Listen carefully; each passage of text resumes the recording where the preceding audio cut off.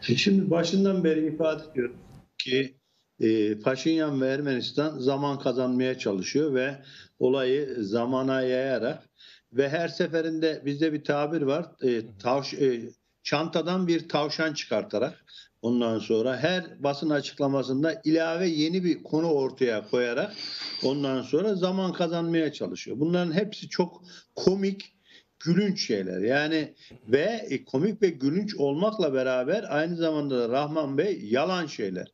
Yalan şeyler derken ne diyoruz? Yani hem Azerbaycan Anayasası ile ilgili söylediği hususlar, hem Azerbaycan'ın silahlanması ile ilgili hususlar ve e, diğer şeylere baktığımız zaman rakamları, gerçekleri ve hukuku da e, ne yaptığını görüyoruz. Değiştirmeye çalıştığını ve olmayan şeyleri varmış gibi göstermeye çalışıyor. Kısa giriş yapmak gerekirse e, demin de ifade ettim. Tamamıyla zaman e, kazanmaya çalışarak ondan sonra e, olumlu Azerbaycan'ın Cenab Prezident Ali Başkomutan'ın uzatmış olduğu aynı zamanda Türkiye'nin de uzatmış olduğu barışa, istikrara, huzura giden yolu uzatarak zaman kazanmaya e, yönelik bir şeydir. Örnek verecek olursak dünyada e, Ermenistan şu an e, mevcut sivil nüfusuna göre en çok silahlanan dünyada üçüncü ülkedir. Bir daha tekrar ediyorum.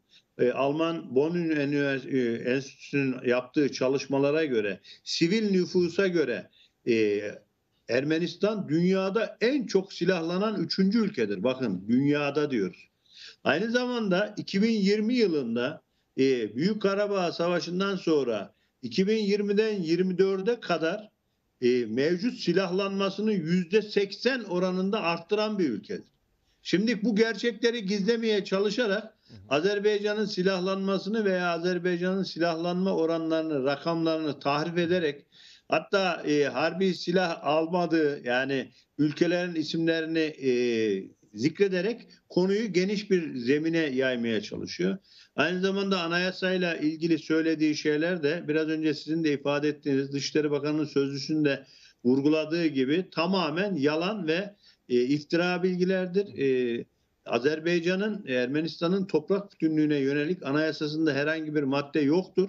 Fakat Ermenistan'ın hem Azerbaycan'a karşı hem de Türkiye'ye karşı anayasasında e, toprak bütünlüğümüzü tehdit eden maddeler vardır. Onun için e, bu çünkü yaptığı açıklamaları ve orada da şöyle bir husus var Rahman Bey. Sanki Zengezur koridoruna yani dehlizin açılmasına e, icaze veriyorlarmış, onaylıyorlarmış gibi bir olumlu bir şeyin arkasında olumlu bir açıklama gibi bir izlenim doğuyor. O havayı yaymaya çalışıyorlar ama onun yanında tamamen olumsuzluk içeren, yalan, iftira içeren açıklamaları vardır. Başlangıcı böyle yapmak isterim.